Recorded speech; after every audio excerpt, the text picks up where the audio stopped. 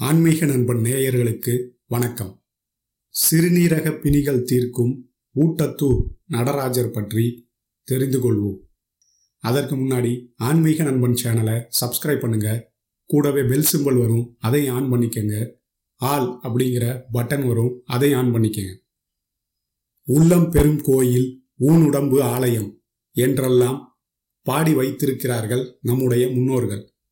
அப்படி ஆலயமாக பொலிவுற வேண்டிய நம்முடைய உடம்பு சுணக்கமுற்றால் என்ன ஆவது பழக்க வழக்கங்கள் தான் நம் உடம்பு சுணக்கம் உருவதற்கு காரணம் என்றால் நம்மால் மாற்றிக்கொள்ள இயலும். கர்ம வினை காரணம் என்றால் அவற்றை எங்கே தொலைப்பது? உள்ளத்து பிணிகளை போக்குபவை ஆலயங்கள். அதே நேரம் நம் உடற்பிணிகளுக்கும் நல் மருந்தாகி நம் பிணிகளை போக்கி ஆரோக்கியமுடன் திகழ செய்யும் திருத்தலங்களும் நிறைய உண்டு. அந்த தலங்களை நாடி சென்றால் நம் பிணிகள் நீங்கும். வாழ்க்கை நலமுறும். இப்படி நமக்கெல்லாம் ஆரோக்கியமான வாழ்வை தரும் ஆலயங்களில் ஒன்று ஊட்டத்தூர் நடராஜர் திருக்கோயில். இந்த கோயில் சென்னை திருச்சி நெடுஞ்சாலையில் திருச்சிக்கு முன்னதாக பாடாலூர் என்ற இடத்திலிருந்து சுமார் நான்கு கிலோமீட்டர் தூரத்தில் அமைந்துள்ள ஊர் ஊட்டத்தூர். அங்கு உள்ளது அருள்மிகு சுத்த ரத்னேஸ்வரர் திருக்கோயில். ராஜராஜ சோழன் வழிபட்டு நோய் நீங்க பெற்றதாக சொல்லப்படும் இந்த கோவில் பல பல சிறப்புகளை தன்னகத்தை கொண்டு விளங்குகிறது.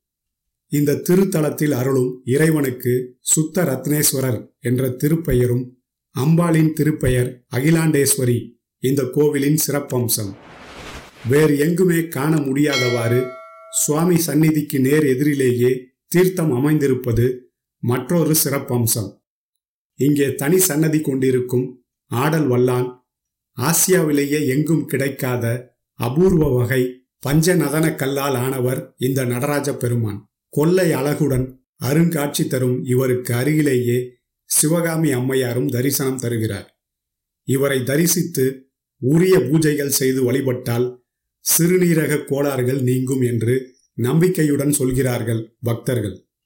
இது குறித்தும் சிறுநீரக கோளாறுகள் நீங்குவதற்காக இங்கே செய்யப்படும் பரிகார பூஜை பற்றியும் இங்குள்ள அர்ச்சகரிடம் கேட்டோம்.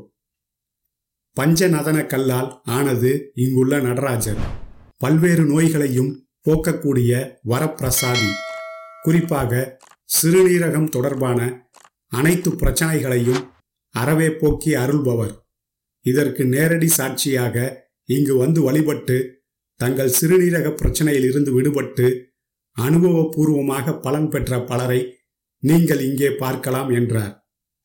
பரிகார பூஜை செய்யும் முறை குறித்து விரிவாக பகிர்ந்து கொண்டார். சிறுநீரக கோளாறுகளால் பாதிக்கப்பட்டவர்கள் இங்கு வந்து கோவிலிலேயே கிடைக்கும் வெட்டி வேரை ஒரு கிலோ அளவில் வாங்கி அதை நாற்பத்தெட்டு துண்டுகளாக்கி மாலையாக கோத்து நடராஜருக்கு அணிவித்து அர்ச்சனை செய்து வழிபட வேண்டும்.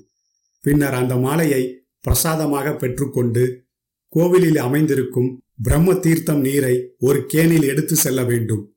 இந்த தீர்த்தம் எத்தனை நாட்களானாலும் கெடவே கெடாது என்பது சிறப்பு.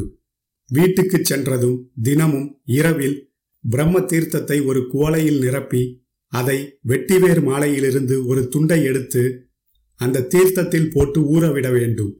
மறுநாள் காலையில் வெட்டிவேர் துண்டை எடுத்துவிட்டு அந்த தீர்த்தத்தை பருக வேண்டும்.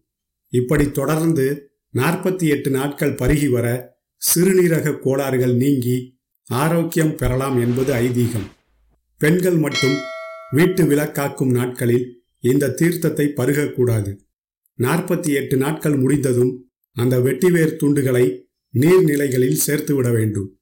சிறு குழந்தைகள் முதல் பெரியவர்கள் வரை பலரும் இங்கு வந்து வேண்டிக் கொண்டு தங்கள் நோய் நீங்கப் பெறுவதை அனுபவத்தில் காண முடிகிறது.